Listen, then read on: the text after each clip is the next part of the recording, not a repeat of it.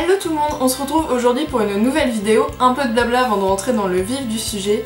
Je suis désolée, j'ai pas publié de vidéo la semaine dernière, donc j'ai encore échoué à garder mon rythme. Mais voilà, j'ai repris les cours, euh, vraiment sérieusement. Je me suis réinstallée dans mon appart, donc j'avais plusieurs petites choses à faire. Ce week-end, j'étais pas là puisque j'étais aux autres de Thoiry avec Louis. Donc euh, voilà, je suis désolée, j'ai vraiment pas eu le temps. Donc euh, je reviens aujourd'hui en essayant de tenir mon planning à nouveau, sachant que voilà, je suis en Master 2, donc j'ai pas mal de boulot, donc il est possible que de temps en temps il y ait des petites failles dans le planning de vidéo, si on peut dire ça comme ça. Mais j'essaierai de tenir le rythme. Ensuite, veuillez m'excuser pour ces cheveux qui ne ressemblent à rien. Je, sais plus quoi faire de ces cheveux, il paraît que le, wavy c'est à la mode, bon tant mieux, hein, parce que... Donc voilà, je, sais, je suis désolée, ils doivent pas ressembler à grand chose, mais je, je peux rien faire d'autre avec.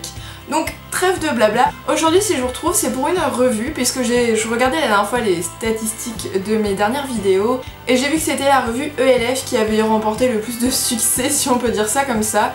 Donc je me suis dit que ça pouvait être pas mal de vous en faire une nouvelle et comme vous avez vu dans le titre cette fois-ci ce sera avec les produits Dior. En fait je me suis dit que contrairement à ELF où c'est des produits vraiment pas chers Peut-être que certaines, certains d'ailleurs d'entre vous sont intéressés pour acheter des produits Dior et comme c'est assez onéreux, je me suis dit que ça intéresserait peut-être certains et certaines d'entre vous d'avoir euh, des avis sur ces produits.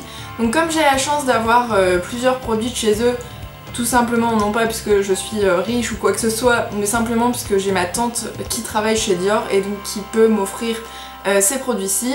Voilà, je me suis dit que ça pourrait peut-être être pas mal de, de vous présenter différents produits et j'ai décidé de le faire sous le même format que la dernière fois, c'est-à-dire que je vais me démaquiller et euh, me remaquiller uniquement avec euh, des produits Dior, en tout cas pour ce que j'ai. Euh, sachant que je vous préviens tout de suite, je vais pas retirer mon mascara ni le maquillage que j'ai sur les yeux, puisque tout simplement je n'ai pas de mascara Dior, sachant que en fait je n'en ai pas puisque je ne les aime pas. et j'ai une seule palette quatuor de fard à paupières, mais c'est pour faire un smoky, et comme je sors juste après en ville, etc., euh, je vais pas me faire un smoky euh, alors qu'il est euh, à peu près 13h30. donc voilà, donc je vous retrouve tout de suite démaquillée pour les produits en eux-mêmes. Donc voilà, me voici démaquillée. J'espère que je ne vous fais pas trop peur parce que moi le matin quand je vois ça, j'avoue, je flippe un peu. Donc on va commencer tout de suite par le fond de teint. Donc j'ai deux fonds de teint de chez Dior, donc un, une sorte d'échantillon et celui-ci. Donc celui-ci c'est le Dior Skin Nude. Euh, teint éclat, effet peau il a un FPS de 15, FPS, SPF, je ne sais pas dans quel sens on le dit, vous aurez compris. Donc voilà les deux fonds de teint que j'ai, celui-ci ça fait peu de temps que je le teste, euh, je l'aime plutôt bien, après euh, ce que ça promet la réalité j'ai un peu de mal. J'ai surtout du mal sur la perfection sans matière. Alors oui il est très couvrant, c'est vrai, quand, quand j'ai des petites imperfections comme actuellement, c'est en général celui-là que je mets car il est bien couvrant. Euh, niveau lumière, oui, c'est vrai qu'il a un petit côté euh, glowy. Après, perfection sans matière, je suis pas du tout d'accord. Je trouve qu'on voit vraiment la matière sur la peau. Alors, on n'a pas l'impression que vous avez une couche de plâtre sur le visage, mais on sent quand même qu'il y a quelque chose, et notamment avec la poudre, je trouve qu'il y a des petits endroits comme à ce niveau-ci où on voit qu'il y a de la matière. Donc c'est plutôt un beau fond de teint que j'apprécie mais je préfère celui-ci, c'est celui que je mets euh, depuis à mon avis 5 ans à peu près et que je mets quasiment tous les jours parce que voilà il a quand même un rendu euh, naturel tout en ayant une couvrance vraiment pas mal. D'ailleurs c'est celui-ci que je vais appliquer tout de suite donc je vais l'appliquer avec mon pinceau Sigma qui est le F80 qui je suis désolée, est tout seul, j'ai pas eu le temps de le nettoyer. Donc je vais l'appliquer tout de suite.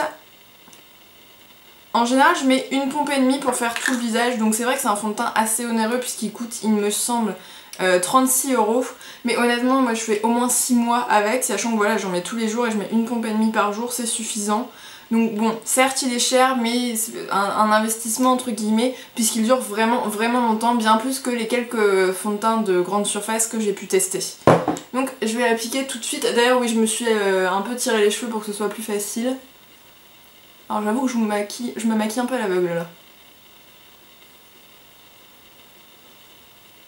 D'ailleurs j'ai pas fait comme je fais d'habitude. Je vais finir ça parce que je ne vois absolument rien, j'ai pas de retour écran et je reviens tout de suite. Donc voilà ce que ça donne. Je sais pas si vous voyez bien que la lumière assez euh, pourrie, disons-le, qui a ici qui est beaucoup trop blanche et du coup on voit pas grand chose. Mais voilà, c'est un rendu que moi j'aime bien. Alors par contre, ayant la peau mixte, moi il faut à tout prix que je poudre après. Mais voilà, il a un peu masqué mes petites imperfections euh, sur le menton. Et je trouve que ça donne quand même bonne mine, ça unifie le teint sans faire euh, effet plâtre ou quoi que ce soit. Ensuite, normalement, dans ma routine de maquillage, je passe aux yeux. Donc, comme je vous disais, je n'ai pas de mascara Dior, tout simplement puisque ce sont des produits que je n'affectionne pas. J'ai eu l'occasion d'en tester, euh, plusieurs fois, notamment le Dior Show, je pense que c'est son nom, qui coûte, il me semble, une trentaine d'euros, si je ne me trompe pas. Et honnêtement, je préfère largement euh, mon mascara chouchou de tous les temps, qui est le volume mignon de cils. Je vous en ai déjà parlé, qui coûte aux environs de 12 euros et qui fait pour moi euh, le même job, voire un meilleur job. Euh, je, je sais pas expliquer ce que je, n'aime pas chez les mascaras Dior, mais je trouve qu'ils ont vite tendance à faire des, pâtés et moi je suis pas prête à mettre ce prix là dans un, mascara. Ensuite comme produit pour les yeux j'ai une petite palette Quatuor, je vais vous montrer ça tout de suite. Donc c'est un genre de, testeur donc vous étonnez pas de, la présentation. Donc ça se présente comme ceci.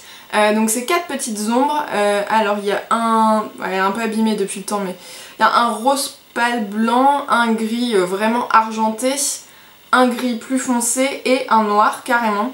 Donc à chaque fois que je fais un smoky, c'est cette palette là, que ce quatuor là que j'utilise. Là comme je vous disais, je vais pas le faire puisqu'il est 14h, je sors juste après donc je vais avoir l'air un peu bête avec mon smoky de soirée sur les yeux. Mais au niveau ombre à paupières, c'est des ombres que j'aime beaucoup. Enfin en tout cas cette petite palette là, je l'apprécie beaucoup. Euh, je mets une base quand je fais un smoky puisque c'est censé euh, tenir toute la nuit en gros. Et euh, bah vraiment elles tiennent bien, elles sont un peu poudreuses par contre celles-ci, donc il suffit de le savoir quoi, faites pas votre teint à fond avant d'essayer de faire ça. Mais sinon elles tiennent bien, elles sont très pigmentées, ouais non j'ai un pull beige, je vais pas tenter les swatchs. Mais elles sont très pigmentées, c'est des, voilà, des ombres à paupières que j'aime beaucoup.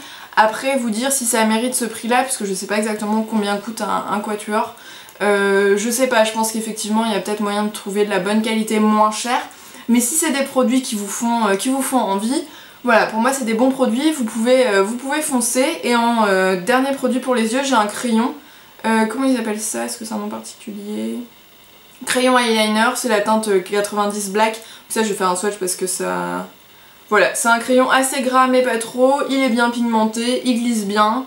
C'est pareil, c'est un bon produit. Après, encore une fois, je pense que vous pouvez peut-être trouver moins cher puisqu'on n'a pas forcément tout le budget. Euh, pour ça, mais honnêtement c'est pareil, si ce produit vous fait envie, allez-y, puisque enfin en tout cas moi c'est un produit que j'apprécie, et, voilà, qui fait le job et qui est pas mal. Ensuite, je vais finir mon teint avec euh, ma poudre. Euh, là, j'utilise leur pinceau.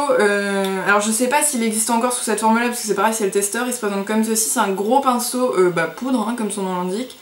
Et moi, j'utilise celui-ci. Il est super doux. Et vraiment je l'adore, il, enfin, il met bien la poudre, ça fait pas d'effet pâté, il faut vraiment mettre un tout petit peu de poudre et il l'étale super bien, enfin vraiment c'est un pinceau que j'adore et il est vraiment tout doux alors que ça fait des années et des années que je l'utilise. Et en poudre, j'utilise leur poudre aussi, alors c'est pareil, c'est une, recharge normalement, ne vous inquiétez pas du packaging, hein. normalement ce sont de plus jolis packaging, heureusement vu le prix. Et donc celle-ci c'était poudreuse qui disent euh, fusionnelle. Et honnêtement, donc ça fait, euh, ça fait quoi? Ça doit faire deux, mois, je crois, même pas, que je teste cette poudre aussi. Et je suis un peu mitigée. Je sais pas si c'est parce que j'ai la peau euh, plus grasse, en tout cas sur la zone T en ce moment, ou si c'est cette poudre là qui accroche moins, puisque celle-ci j'ai l'impression de devoir faire des retouches plus souvent dans la journée que la poudre euh, nude qui va avec ce fond de teint là normalement que j'utilise d'habitude. Donc si vous l'avez testé, n'hésitez pas à me donner votre avis dans les commentaires, puisque moi j'avoue que je suis un peu sceptique, j'arrive pas à savoir si c'est ma peau qui est moins bien, ce qui est fort possible puisqu'en ce moment elle me cause de nouveau quelques petits problèmes, ou si c'est cette poudre là, pourtant ils disent tenue fusionnelle donc elle devrait tenir euh, vraiment bien, qui tient pas, euh, je vais dire de ouf, qui tient pas énormément. Donc je vais poudrer rapidement, bon ça j'ai pas besoin de miroir, hein. on va faire euh, un peu à l'arrache, hop.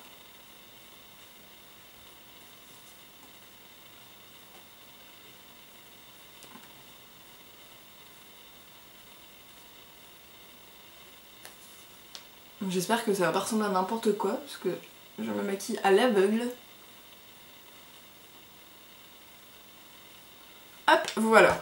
Donc c'est vrai par contre une fois qu'on a, sur la peau euh, et le fond de teint et la poudre, on sent rien du tout. J'ai l'impression d'avoir la peau nue et ça unifie quand même bien mon teint et la poudre le matifie sur le moment mais j'ai l'impression qu'elle accroche pas, euh, par exemple sur les ailes du nez où j'ai la peau mixte, euh, j'ai l'impression qu'elle accroche pas vraiment en fait, c'est ça qui est gênant, surtout quand on a la peau mixte. Donc, euh, donc voilà, encore une fois, vous n'hésitez pas à me dire ce que vous en pensez. Ensuite, j'ai deux blushs de chez Dior. Alors celui-ci, c'est un blush euh, classique, entre guillemets. Alors, oh, non, je peux pas vous présenter ça, il est tout sale. Eh. Donc voilà, c'est un blush comme ceci que j'ai beaucoup, beaucoup, beaucoup utilisé, parce que c'est le blush que j'utilisais à un moment tous les jours. Et j'en ai un deuxième que j'ai beaucoup utilisé aussi. Je retire le petit applicateur. Je suis désolée, ils sont tout seuls. qui se présentent, hop, comme ceci. Euh, je pense que je vais mettre celui-ci. En fait, celui-ci, je l'aimais beaucoup, mais je sais pas, il a, a un problème entre guillemets. Donc en fait, vous avez une partie euh, vraiment rose de la couleur pure, et là, il y avait une partie qui faisait un, peu euh, irisé, highlighter, tout ça, tout ça. Et en fait, un jour, je, je me suis trompée de pinceau, j'ai pris celui avec lequel je mets d'habitude mon bronzer, et du coup, j'ai l'impression que j'arrive plus bien à récupérer la matière. Enfin, j'arrive plus à récupérer le côté brillant, glowy. Donc bah, ça se voit de toute façon, puisque celui-ci est totalement creusé et de l'autre côté pas du tout. Donc euh, je sais pas trop, mais j'utilise celui-là. Ça fait longtemps que j'ai pas mis de rose. Là c'est pareil, j'utilise euh, leur pinceau qui est pas pour le blush normalement. Euh, Powder Foundation, donc pour le fond de teint poudre, mais moi je, je trouve que ça marche bien pour le blush. Ça tombe, je ressemble à un clown là. Donc celui-ci c'est un joli rose, hein. euh, c'est alors c'est dans la teinte euh, dans l'édition Cherry Bow et c'est la couleur rose bonheur. Donc, euh, donc voilà, en général je mets mon blush et je fais un petit truc comme ça pour estomper. Je ne vois absolument pas ce que je fais, donc si je ressemble à Bozo, je suis désolée. Donc voilà pour les blushs, j'ai ces deux-ci et j'en ai un autre mais qui est, qui est pas ouvert donc je l'ouvre pas, qui a une teinte corail. Les blushs pour moi c'est des bons produits, ils tiennent bien, ils sont assez, euh, assez pigmentés avec un, un blush comme, comme ceci. Pour le coup, vous faites une éternité. Je pense que vous pouvez tenir quasiment un an puisqu'en général, on met pas le même blush tous les jours. Et encore, même en le mettant tous les jours, ils tiennent vraiment longtemps. Donc pour moi, c'est des bons produits. Honnêtement, euh, c'est vrai que moi je suis pas une addict de Dior pour le coup, mais les produits pour le teint euh, obligé, c'est toujours ça que j'utilise, puisque de toute façon les fonds de teint de grande surface me donnent des boutons ou de l'eczéma, alors que celui-ci pas du tout, donc sachez que si vous avez des problèmes de peau, euh, celui-ci normalement vous conviendra. la poudre, bon celle-ci c'est pas mon coup de cœur, mais normalement c'est la poudre de chez Dior que j'utilise. Et les blushs, c'est vrai que c'est des blushs que j'aime bien. Donc c'est vraiment les produits teints euh, en, réalité que j'aime beaucoup chez Dior. Et après j'ai pas mal de rouges à lèvres euh, de chez eux. Donc j'en ai trois euh, dans la catégorie classique entre guillemets qui se présentent comme ceci. Donc c'est vrai que les packagings sont très beaux pour le coup. Hein. C'est... moi c'est noir je pense, c'est noir sale. c'est noir avec la bague en, en argent et le petit signe Christian Dior au bout. Donc j'ai trois teintes. J'ai d'abord le 999 qui est le rouge, euh, le rouge de chez Dior, basique. L'or rouge, qui est vraiment très joli. D'ailleurs vous avez le petit mot Dior gravé sur le raisin. Donc j'ai celui-ci. Ensuite j'ai la teinte 664 rouge blossom qui a un rouge un peu marronné pour, euh, pour l'automne, il, est très joli. Et ensuite j'ai euh, celui que je vous avais présenté normalement dans ma vidéo cadeau d'anniversaire qui est le Darling qui a un peu un, rouge-rose euh, pastèque. Je, suis désolée de cette description de, couleur, mais moi je le définirais comme ça. Donc j'ai ces trois-là. Ensuite j'avais également eu la chance d'avoir leur édition de Noël, donc qui se présente comme ceci. Je sais pas s'ils la ressortent cette année, mais il me semble que c'était pour Noël, au moins pour l'hiver. Donc qui est doré avec un très beau, beau packaging. Et c'est le 038 Diva, donc oui, le même nom que chez MAC, mais c'est pas la même chose. Il ressemble vraiment au euh, rouge blossom pour le coup. Oui, oui. Je sais pas si vous verrez bien parce qu'encore une fois la lumière est vraiment pourrie. Celui-ci est un, peu plus rouge mais c'est vraiment le même genre de teinte. Euh, un rouge mais un peu plus foncé, un peu moins vif en fait. Et que j'aime beaucoup aussi, c'est un que je mets très souvent que je mets très souvent. Et alors ces rouges à lèvres là, honnêtement la tenue est, vraiment bien. Euh, je vous les conseille. Donc c'est toujours la même chose, vous pouvez trouver de bons rouges à lèvres moins chers, voilà, mais après il y a des fois ça nous fait un peu rêver, il y a des produits qui, qui nous donnent envie. Et les rouges à lèvres, honnêtement, si vous tentent, allez-y parce qu'ils tiennent bien, ils sont agréables à porter. Et voilà, moi c'est des rouges à lèvres que j'aime bien. Ensuite j'ai un gloss mais qui date un peu de chez eux donc je pense que vous le trouverez plus. C'était Ultra Gloss Flash. J'ai pas la teinte, c'est pareil c'était un testeur. Donc il se présente comme ceci, le packaging est encore une fois très joli. Par contre j'avoue que je suis pas très très gloss donc euh, c'est vrai que c'est quelque chose que j'utilise pas trop. Ça se présente avec un, petit pinceau au bout. Et bah déjà seul je l'utilise jamais, à la limite j'utilise par dessus un rouge à lèvres mais je pourrais pas vous donner trop d'avis puisque le gloss déjà en soi-même c'est pas, pas ce que je préfère mais Voilà, on m'avait offert ça à un moment où je mettais pas encore trop de rouge à lèvres puisque j'étais euh, jeune. donc, euh, donc voilà, pour les glosses, je saurais pas trop, pas trop vous dire. Il paraît que la tendance glossy revient cette année, donc peut-être qu'ils vont en sortir des, très bien. Mais moi, c'est pas ce que je préfère, donc mon avis sera pas, euh, sera pas le bon. Et ensuite, toujours pour les lèvres, j'ai 4 fluides lipstick. Bon, je, je suis tout tombée. J'ai 4 fluides lipstick, donc euh, alors, est-ce que j'ai les teintes? Oui. J'ai la teinte Wonderland, Pandore, Aventure et Mirage. De toute façon, je vous mettrai toutes les références en barre d'infos. Et alors là, comment vous dire? J'en ai entendu parler pendant euh, des, mois sur... Euh, pas forcément sur YouTube, mais quoique un peu sur les blogs, etc. Donc moi je m'attendais à un truc de folie. Donc quand ma tante m'a donné cela, j'étais mais ravie. Je me suis dit ça y est, je ne vais mettre que ça. Et en fait, pour tout vous dire, euh, je suis pas fan. Il y a une couleur que j'aime beaucoup, c'est euh, la teinte Pandore, qui... Celle-ci et... La teinte Aventure, ce sont mes deux teintes euh, préférées que celles que je mets le plus régulièrement. Après voilà, c'est un embout, puisqu'on a l'impression que là c'est un rouge à lèvres, mais non, c'est quelque chose de liquide. Et donc c'est un embout comme ceci, comme pour un gloss en fait. Et la dernière fois je l'ai mis au boulot, et c'est vrai qu'on m'a fait énormément de compliments sur la couleur, mais au bout de 3 heures, euh, il était déjà quasiment effacé alors qu'au boulot euh, je parle mais euh, c'est tout quoi. Je veux dire j'ai pas mangé, j'ai pas bu, j'ai rien fait. Donc pour ce prix là puisqu'il me semble qu'ils sont à une trentaine d'euros, un bon 30 euros je crois. Pour ce prix là j'avoue que j'étais vraiment déçue parce que voilà quand on met ce prix là on s'attend à une, une tenue, une qualité supérieure et honnêtement non. Honnêtement non, voilà. je trouve pas ça, je trouve pas ça dingue, en tout cas peut-être que c'est mes lèvres, j'en sais rien mais la tenue était vraiment pas, vraiment pas folle et loin d'être satisfaisante. Donc j'avoue que c'est des rouges à lèvres que je délaisse un peu et euh, non, je, je, vous conseille pas, je sais pas s'ils existent encore de toute façon mais c'est pas des produits que je pourrais vous conseiller. Alors c'est vrai que le, packaging fait rêver, enfin moi j'adore, je les trouve superbes. Mais au-delà de ça, il euh, n'y a, pas, a pas grand intérêt. Tournez-vous plutôt, je pense, vers euh, vers les rouges à lèvres classiques euh, qui sont peut-être un peu moins modernes dans le packaging, qui font peut-être un peu moins rêver mais qui pour moi sont beaucoup plus efficaces. Et d'ailleurs je pense que je vais aller mettre l'un d'entre eux et je vais mettre le rouge. Je reviens tout de suite parce que le rouge à lèvres à l'aveugle ça va pas être possible. Et voilà pour le rouge à lèvres. Donc moi c'est vrai que c'est une couleur que j'aime beaucoup puisque je trouve que c'est un beau rouge, il fait pas trop criard, il fait pas, il fait pas mamie pour autant, vous savez les rouges bien marronnés là. Euh, par contre euh, comme dans toute vidéo il y a... Oh J'en ai partout alors, je vais m'essuyer parce que j'ai un pull blanc, enfin un crème. Donc voilà, je disais comme dans toute vidéo, il y a eu une catastrophe puisque je ne sais pas pourquoi. On dirait que le rouge à lèvres a fondu entre guillemets, alors que bon, hein, j'habite dans le nord donc en ce moment on peut pas dire qu'il fasse 30 degrés. Il a fondu, en tout cas il s'est détaché de son socle et donc du coup il en a mis partout et du coup quand je le mets sur mes lèvres ça... Ça, ça se barre pour être vulgaire. Bah du coup voilà ça, ça ne tient plus donc... Euh... C'est bien, la fille elle recommande des rouges à lèvres, deux secondes après ils se mettent la gueule quoi. Donc euh, ah, je vais me nettoyer en même temps parce que je sens que j'en mets partout. Donc voilà, c'est une belle couleur, malheureusement là, euh, accident, euh, accident de, folie, il y en a partout sur le raisin, c'est... En fait, je sais pas si on verra, il s'est vraiment cassé quoi. Alors que j'ai pas, pas du tout appuyé contrairement à la dernière fois où l'exfoliant de chez ELF j'ai appuyé comme une cinglée donc j'étais bête et voilà, mais là j'ai vraiment rien fait quoi, genre je l'ai sorti, je l'ai mis sur mes lèvres et ça a donné ça. Donc euh, voilà cette vidéo. Je pense que vous allez plus acheter de Dior en fait euh, à cause de moi. Donc non, pour faire un, bilan, euh, le fond de teint nude, pour moi c'est un, gros coup de cœur. Je l'ai voilà, depuis 5 ans et je changerai pour rien au monde. Je l'adore. Encore une fois, c'est vrai que c'est un coup, mais il dure longtemps. le Dior Skin Star, pour moi c'est un bon fond de teint, mais voilà, sachez que l'effet sans matière, pour moi c'est un leurre. Il y a un effet matière, de toute façon Dire qu'il n'y aura pas d'effet matière avec une telle couvrance pour moi, c'est pas possible.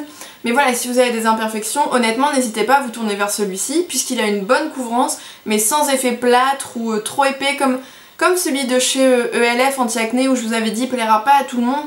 Celui-ci, il, est, beaucoup plus fluide, et honnêtement, si vous avez des, imperfections, euh, n'hésitez pas, foncez, je pense que c'est à peu près le même prix que celui-là. La poudre, alors celle-ci c'est l'été, la tenue fusionnelle, je suis un peu, euh, un peu sceptique, comme je disais tout à l'heure, mais euh, celle qui va avec ce fond de teint-ci, donc la Dior Skin euh, Nude, je l'adore, elle tient bien, elle matifie bien, etc. Donc c'est pareil, pour moi c'est un produit pour lequel vous, pouvez foncer tête baissée. Les blushs, Je les aime beaucoup, après voilà, moi j'avoue que j'ai un peu de mal à mettre de l'argent dans un blush, je sais pas pourquoi, c'est psychologique, mais si vous tente, franchement, allez-y, ils sont bien pigmentés, ils tiennent bien. Euh, ensuite on était passé aux yeux, donc le Quatuor pour moi c'est un bon produit. Les ombres à paupières, je sais que ma maman utilise beaucoup les ombres à paupières de chez Dior, elle les aime bien donc c'est pareil, pour moi vous pouvez, euh, vous pouvez y aller. Le crayon, bon bah, c'est basique, hein. en même temps pour faire un mauvais crayon j'ai envie de dire, euh, Voilà, au niveau des rouges à lèvres, bah, moi j'aime beaucoup les, classiques à part celui qui vient de se, de se détruire entre, les, entre mes mains. Euh, le gloss, bon je saurais pas trop vous dire. Et les fluides lipstick, pour moi, grosse, grosse, grosse déception. Et euh, les pinceaux, euh, je les aime bien mais pas tous. Par exemple j'ai un pinceau blush, ouais c'est ça, qui se présente comme ça. Et j'avoue que moi je, trouve que c'est pas ce qui va mieux pour mettre, pour mettre la matière. Mais après c'est une question de goût. Donc voilà, pour moi en conclusion c'est plutôt une bonne marque. C'est vrai que c'est onéreux mais il y a des produits qui valent le coup. Et d'autres qui valent bah, moins le coup comme dans toutes les marques. Donc j'espère que cette vidéo aura pu vous aider. Je vous dis à la semaine prochaine, j'espère, pour une nouvelle vidéo. En attendant, prenez soin de vous. Bisous